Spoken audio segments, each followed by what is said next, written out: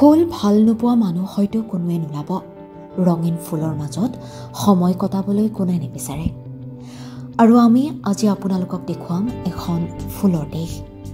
শিলচৰ চহৰত বিভিন্ন ধৰণৰ স্থানীয় তথা দেশী বিদেশী ফুলেৰে ভৰপূৰ এখন ফুল আৰু পৰিৱেশ মেলা আৰম্ভ কৰা হৈছে। ফুলৰ লগতে সজাগতাৰ বাবে এখন পৰিৱেশ মেলাৰো আয়োজন কৰা হৈছে। বৰ্তমান সময়ত পৰিৱেশ প্ৰদূষণৰ ফলত বিপন্ন হৈ পৰা উদ্ভিদ আৰু প্ৰাণীৰ প্ৰদূষণ ৰোধৰ বাবে চৰকাৰ আৰু বিভিন্ন স্বেচ্ছাসেৱী সংগঠনে বিভিন্ন কাৰ্যসূচী গ্ৰহণ কৰি আহিছে। শিলচৰ চহৰতো তেনে এক পদক্ষেপেই গ্ৰহণ কৰা হৈছে।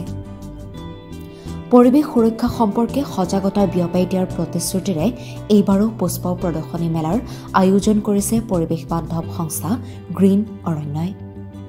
দুহেজাৰ ওঠৰ চনত শিলচৰৰ পৰিৱেশ বান্ধৱ সংস্থা গ্ৰীণ অৰণ্যই এই যাত্ৰা আৰম্ভ কৰে। ইয়াৰ পিছৰ বছৰতেই এখন ফুলৰ মেলাৰো আয়োজন কৰা হয়। আৰু এই সফলতাৰ ধাৰাবাহিকতাৰ লগে লগে এইবাৰ পুনৰ এবাৰ চহৰখনৰ নাৰ্ছিংটোলা পথাৰত গ্ৰীণ অৰণ্যই আয়োজন কৰিলে পুষ্পমেলাৰ।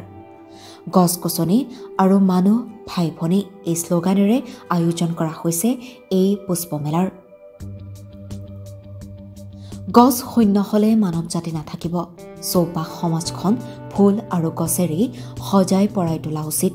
ঠিক এই বাৰ্তা গ্ৰীণ অৰণ্যই বিয়পাবলৈ চেষ্টা অব্যাহত ৰাখিছে।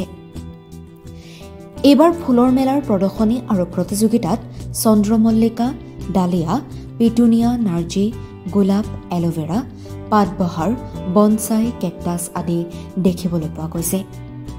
লগতে আছে বিভিন্ন প্ৰজাতিৰ ফল মূল আৰু শাক পাচলিও বৰ্তমান সময়ত এই ফুলৰ মেলাখনত দেখিবলৈ পোৱা গৈছে সকলো বয়সৰেই মানুহৰ ভিৰ। ফুলৰ সৈতে ছেলফি তুলিছে কোনোৱে কিনিছে ফুলৰ পুলি। এয়া সজাগতা সেউজী ধৰণীৰ দিশে। লগতে সকলোৱে গ্ৰীণ অৰণ্যক একেমুখে এই পুষ্পমেলাৰ বাবে ধন্যবাদ জ্ঞাপন কৰিছে।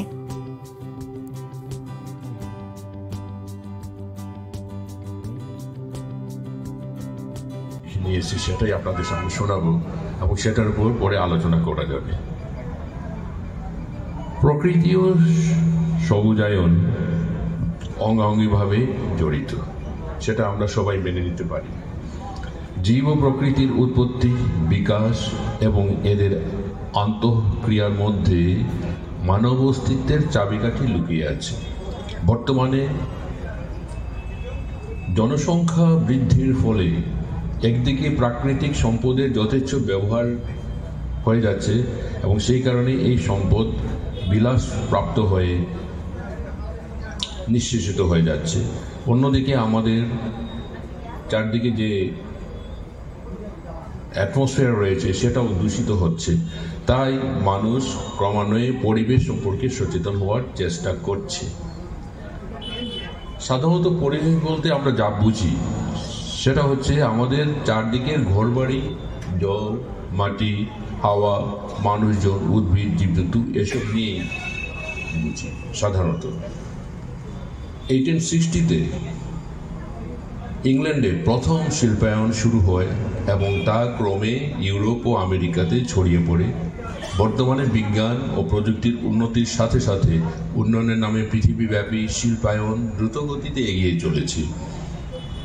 তাতে মানুষের আর্থিক ও সামাজিক উন্নতি হচ্ছে নো ডাউট কিন্তু পরিবর্তে মানুষের চারপাশে সৃষ্টি হচ্ছে ভীষণ দূষণ।